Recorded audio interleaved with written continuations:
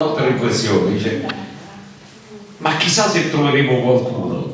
Ah, invece a vedere questa platea così ampia, così qualificata, veramente è una cosa che apre, apre il cuore e, e rende, rende, sicuramente meno, meno oneroso e meno faticoso il viaggio. Io parlerò credo una quindicina di minuti, anche io non sforerò molto se diciamo 20 posso farlo 25 poi quindi vabbè cerchiamo di essere brevi ma brevi nel vero senso della parola. E il 1799 è già stato introdotto è uno snodo fondamentale nella storia io direi non soltanto italiana ma storia europea. E quindi va trattato sine ira in studio come diceva qualcuno molto più famoso di noi i partigiani da una parte e dall'altra lasciano sempre un po' il tempo che trovano. Siamo attenti avvertenza avviso ai naviganti. Il 2019 sarà il 100... 220 anno. 220 anno quindi ne vedremo delle belle tra chi difende il cardinale Ruffo e chi difende eh, la Repubblica Napoletana una indivisibile così come avete chiamato. Quindi ne vedremo delle belle. Io francamente noi mi permetto di dire con l'amico Fernando Di Mieri anche con Claudio Saltarelli non ci iscriviamo a questa gara perché la storia si fa con i documenti, si fa analizzando le carte, noi non siamo partigiani né dell'una né dall'altra parte, poi non siamo partigiani, siamo né tifosi dell'una né dall'altra parte, perché non è un derby calcistico, per cui noi cerchiamo di tenere la barra del timone a dritta e cerchiamo di vedere le cose come effettivamente si sono, si sono svolte. Perché si arriva a questa occupazione giacobina, altrimenti non, non capiremmo uh, quello di cui stiamo parlando. Si arriva a questa occupazione giacobina del regno di Napoli perché c'era il disegno prima del direttorio che poi successivamente diventerà Napoleone Bonaparte era quello di soggiocare l'intero continente europeo. E quindi già nel 1797 Napoleone invia l'armata italiana, invade il Ducato Romano, il pontefice Pio VI viene praticamente esautorato, rimane prigioniero, morirà in esilio, poveretto diciamo così, perché viene condotto in, in Francia e poi lì morirà in esilio, di fatto già eh, nel 1797 e 98 eh, Championnet, Giacobini eh, avevano occupato il Ducato Romano e quindi controllavano il Ducato Romano. Questo che cosa significava? Significava che c'è un pericolo imminente perché il Ducato Romano, Stato Pontificio, confinava con il regno trentinato. Allora che cosa fa eh, Ferdinando IV? Era Ferdinando IV di Borbone, il re di Napoli, ebbe un'idea che all'inizio poteva anche sembrare eh, proficua, invece di aspettare che ci invadono, attacchiamoli noi.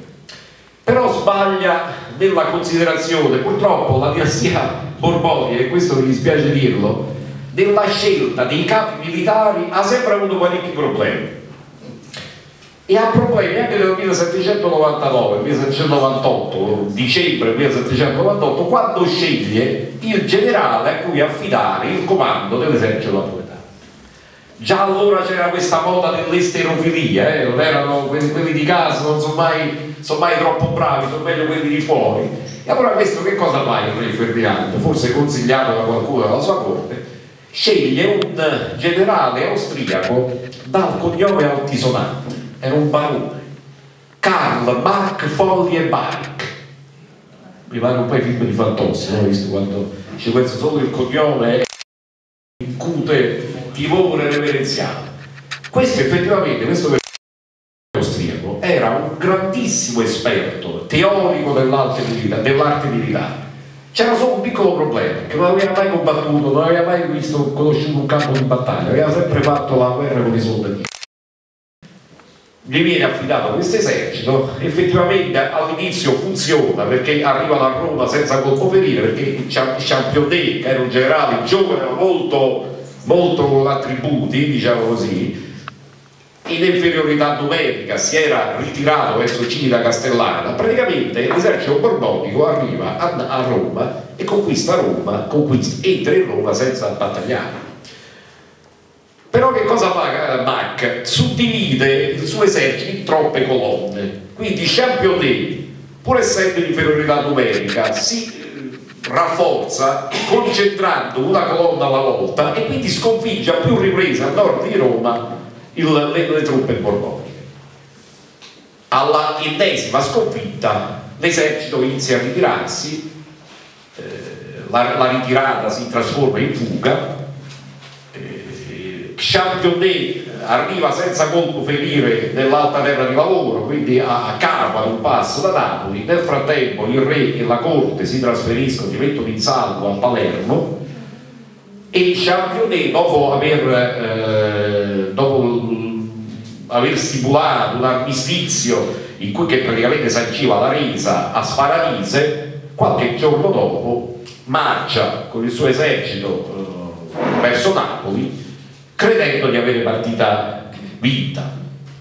Non aveva fatto però i conti con una, una determinata situazione, che mentre i regnanti borbonici erano, si erano rifugiati a Palermo, mentre eh, Mac sfugge, scappa e si consegna a Caserta ai francesi, mentre il vicario Pigliatelli viene istituito proprio per aver firmato questo armistizio vergognoso e scappa pure lui in Sicilia dai regnanti, quindi si mette in salvo, chi non scappa sono i Lazzari. I Lazzari napoletani, che sono gli unici in quel momento che diventano gli eroici difensori di Napoli.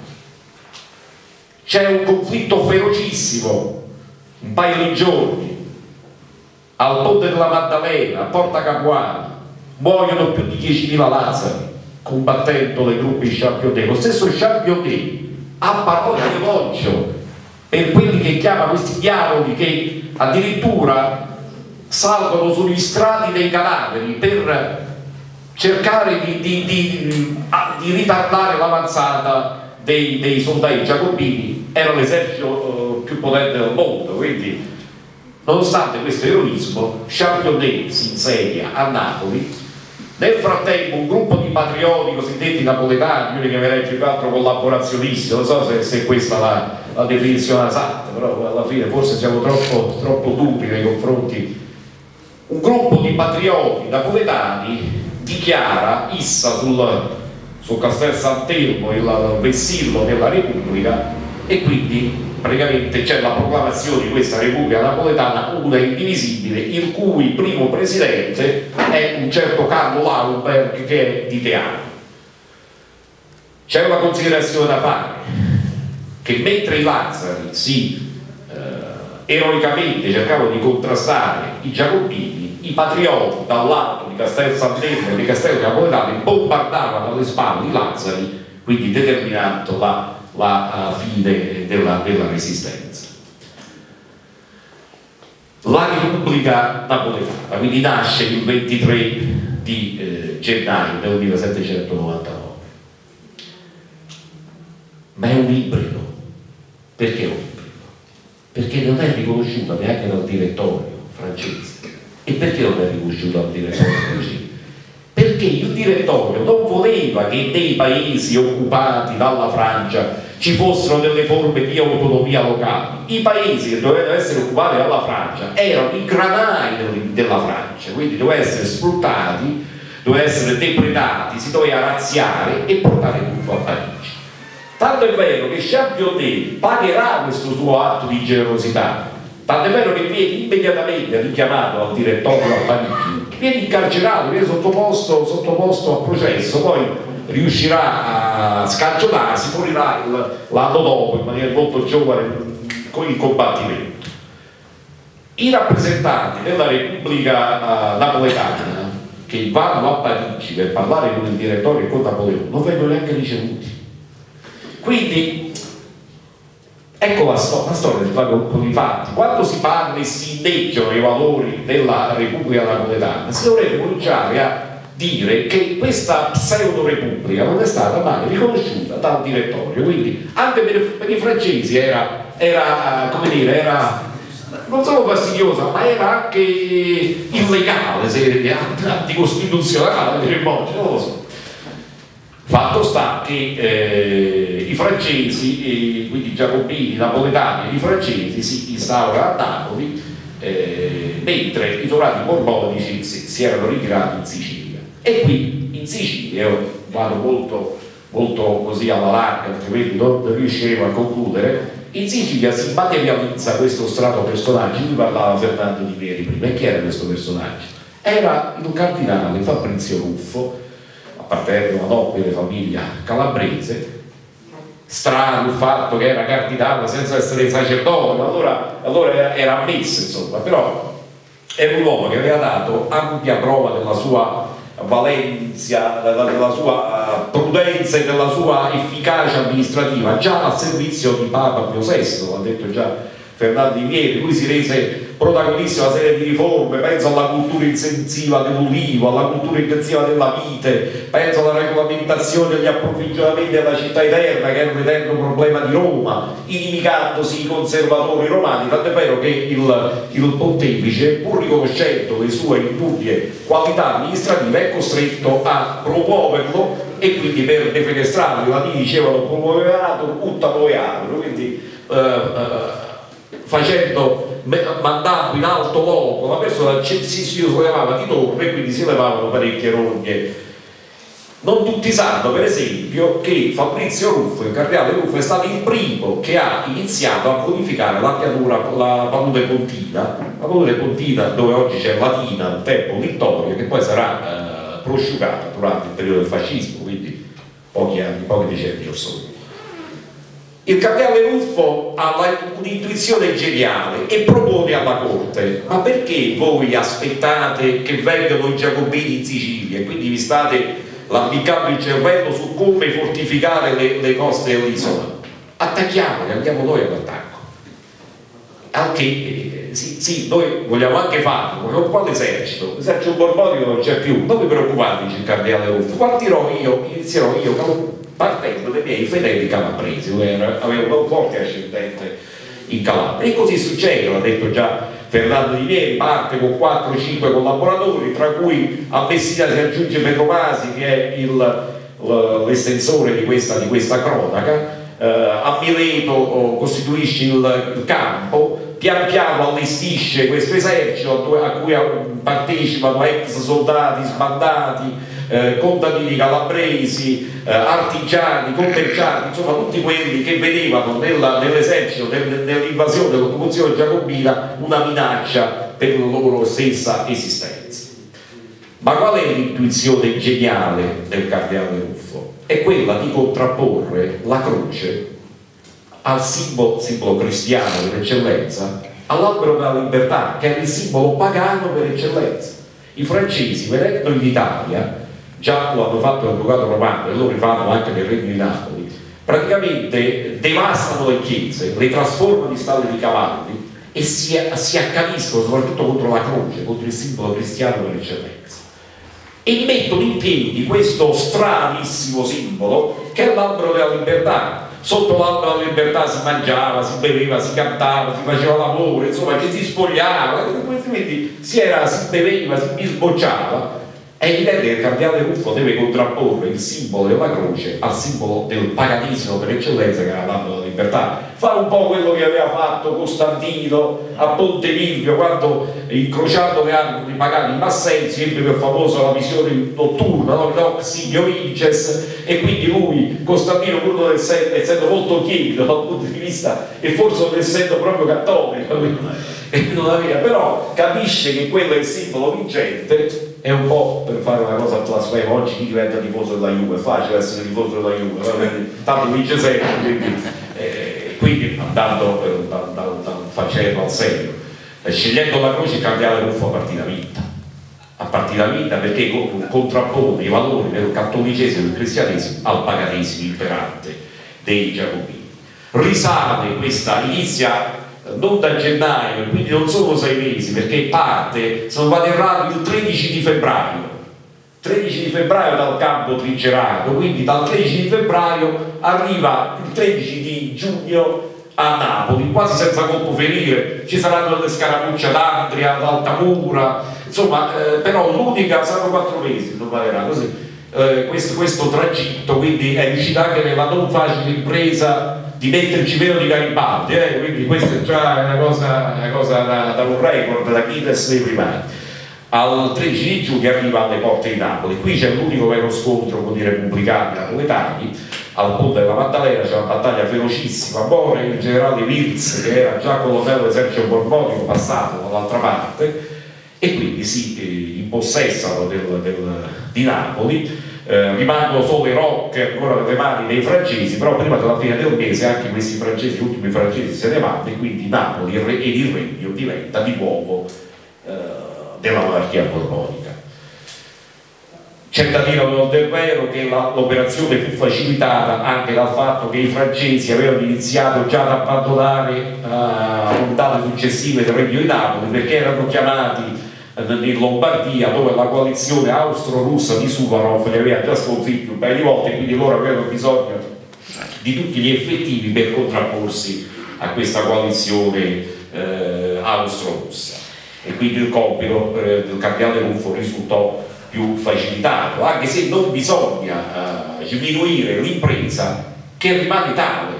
Cioè siccome il cardinale Ruffo lo si diceva prima lo diceva anche Fernando Di Mieri sul cardinale Ruffo è stata montata una leggenda nera, è evidente che si sminuisce anche l'impresa, però a proporzioni invertite, a, squadre a campo invertito, se il cardinale Ruffo fosse stato all'altra parte sarebbe stato un eroe. Ad Avantini, invece noi siamo stati a San Lucido proprio a presentare questo libro San Lucido in Calabria che è il paese natale del cardinale Ruffo e dove ci hanno accolto inizialmente almeno con un certo ostracismo per poi sciogliersi perché la storia si fa come diciamo con i documenti e quindi poi alla fine sono inconfutabili quindi non è che si possa, che si possa uh, perdersi troppo in chiacchiere. Riconquistata Napoli e lei qualche tempo dopo torna non subito perché aveva ancora paura della destabilizzazione eh, cominciano i problemi. Cominciano i problemi perché c'è la fase nera questa sì forse eh, della restaurazione borbonica Restaurazione borbonica che il Ruffo voleva impostare in maniera diametralmente opposta da quella in cui che poi si è materializzata. Lui voleva, era per la clemenza, era per la blandizia. Eh, la corte regge invece, soprattutto la, uh, la regina Maria Carolina, istigata soprattutto da Orazio Lenzo, l'ammiraglio inglese, fu per la legge del taglione, fu per usare le maniere forti. Non dimentichiamo un'altra cosa, altrimenti non contestualizziamo. La regina di Napoli Maria Carolina, moglie di Ferdinando IV, era la sorella di quella Maria Antonietta che nel 1692, 93, 93, nel 1693 era stata ghigliottinata, quindi aveva, temeva molto per il suo mondo, diciamo così. Eh? Quindi, quindi eh, perché poi oggi, ragionando oggi a distanza di tanti anni, noi possiamo anche eh, platerare, dire, dare dei giudizi che poi non sono assolutamente eh, condivisibili. Fatto sta che si decide di usare la, le maniere forti, vengono eh, costituite le cosiddette giunte di scrutinio, che erano dei tribunali speciali, e vengono messi a morte 99 patrioti, eh, cosiddetti patrioti napoletani, Eleonora Pimentel Fonseca, Cirillo, Pagano e tutti quegli altri che noi troviamo scritti, Caracciolo, Ammiraglio Caracciolo, il primo. C'è pure molti cilettani molti cittadini, qui qui riportiamo tutto l'elenco dei 99, 99 martiri cosiddetti alla Repubblica del 1799, sono quelli stessi martiri, tra virgolette, voi trovate scolpiti, incisi su quelle lastre che trovate nel monumento a Piazza dei Martiri a Napoli. Ci sono iscritti tutti i nomi. C'erano anche due donne, quindi una è Eleonora Pimontel Fonseca, giornalista, poetessa che, era stata, che aveva diretto durante il periodo della, della Repubblica Napoletana, un monitore napoletano, e c'era anche Luisa Sanfelice che eh, forse con il 1699 c'entrava un po' come cavo Gamberetta, era più protagonista di un fetillon amoroso, era una donna molto disinvolta e concedeva le sue grazie, una volta ad un Borbone, una volta a Giacobina, alla fine si sono trovati impicciati, come si suol dire, quindi è, è, è venuta fuori un gioco, è capitata in un ingranaggio molto più grosso lei, quindi rimanendo stritolato. Però alla fine sono 99 persone che vengono messe a morte. Si poteva comportarsi diversamente? Secondo me sì, non dal punto di vista giuridico però, perché dal punto di vista giuridico le condanne sono state irreprensibili, perché lì si trattava di alto tradimento, si trattava di sovvertimento della monarchia per instaurare la forma repubblicana, quindi le leggi dell'epoca non, non, non, erano indulgenti a tal proposito, condannavano con la pena di morte tutti questi che si erano resi eh, protagonisti di un attentato alla forma, alla forma di governo. Il cardinale Ruffo non, avre, non, non, non ha, ha, molto, dire, non ha molto apprezzato la cosa, lui ha, fino alla fine ha tentato di di salvare il salvabile perché lui era convinto che usando le blandizie si riuscisse a uh, realizzare una sorta di pacificazione generale. Alla fine però anche lui deve cedere la mano perché viene corre addirittura il rischio di essere arrestato.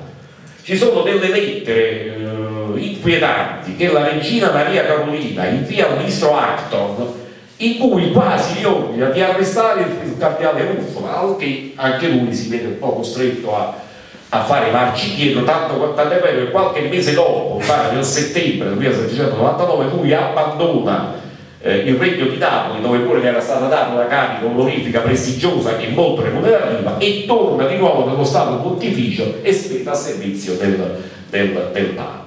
Quindi secondo me poteva essere usata una, una, una maggiore clemenza nei confronti dei cosiddetti patrioti napoletani, che poi è, è, proprio il cavallo di battaglia dei repubblicani giacobini odierni, no? che dicono sì, ma effettivamente lì avete decapitato il fioffiore dell'intelligenza napoletana. Al di là del fatto che io non credo che l'intelligenza napoletana sia schierata tutto, tutta la parte dei giacobini, ma abbiamo questi esempi di cui parlavi che ci dimostrano esattamente il contrario.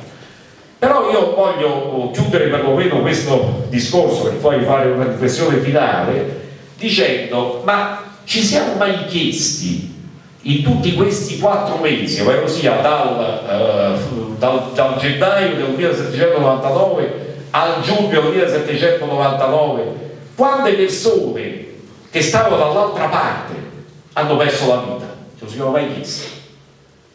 Io credo di no. C'è una fonte straordinariamente importante di cui parlava Giuseppe Belchiorda prima che si chiamano libri mortuori. Se voi vi meritate di andare nelle chiese e di vedere i libri mortuori che si riferiscono al 1799 sono grondanti di sangue guardate io assieme a Claudio Saltarelli abbiamo fatto proprio quest'anno uno studio su quello che è eh, accaduto nel 1799 nell'Alta Terra di Lavoro. Alta Terra di Lavoro sarebbe quella parte che va da San Germano, che è da Cassino, dove vediamo noi, fino a Sora, quindi ai confini con la Bronze. Ebbene, lì abbiamo trovato in una parrocchia di Isola Liri che il giorno 12 maggio del 1799 i giacobini ammazzano 537 persone 537 persone, di cui 350 soltanto nella chiesa di San Lorenzo, dove i genovesi si erano rifugiati creando, credendo di avere salva la vita. Sul versante del Tirreno, a Castelforte, Traetto, Oderna Pinturno, ne vengono uccisi altri 350. Ad Andria, dove siamo stati l'altro giorno, vengono trucidati altre centinaia di persone. Allora voglio dire io, ma se guardiamo i martiri da un lato, dobbiamo guardare pure i martiri dall'altro, perché poi queste persone che vengono trucidate così sono veramente delle persone innocenti che niente avevano a vedere con la contrapposizione politica. Guardate, io cito sempre due episodi che mi hanno veramente destato raccapriccio. Ad un piccolo comune nella, terra, nella provincia di Terra di Lavoro, si chiama Arce, nei pressi di Sora, nello stesso giorno vengono ammazzate due persone uno è, si chiama, tra le tante, vengono ammazzate due persone, uno si chiama Filippo Vanducci e aveva 90 anni, 90 anni. Ma questo è ancora più grave questo che vi sto per dire, viene ammazzato anche un bambino, un neonato di cui non si conosce il nome e il padre non lo riporta e dice soltanto che è il figlio di tale Luigi Cervini, e sapete perché? Perché il nome non l'aveva, in quanto non era stato ancora battezzato, che viene ammazzato dai giacobini mentre era, cito testualmente l'adorazione la, la, del parroco, ad ubera matris, mentre stava prendendo il latte materno dalla madre. Allora io dico, ma questo Filippo Vannucci, arzilo novantenni, e questo bambino di pochi settimane, ma quale minaccia potevano costituire per i giacobini? Allora ecco, io penso che soprattutto nell'anno che andremo a, a, ad inaugurare, almeno speriamo, ci vuole un po' più di equilibrio. Allora, è vero, la reazione borbonica è stata, è stata dura, è stata, è stata ingiusta, è stata dura inflessibile però quello che hanno fatto i Giacobini Claudio Saltarelli io sono arrivato e mi pare che stai facendo vedere un coso sulla Vandea oh. noi nel nostro paese abbiamo avuto una specie di Vandea perché quello che è successo in Vandea nei quattro mesi iniziati dal 1600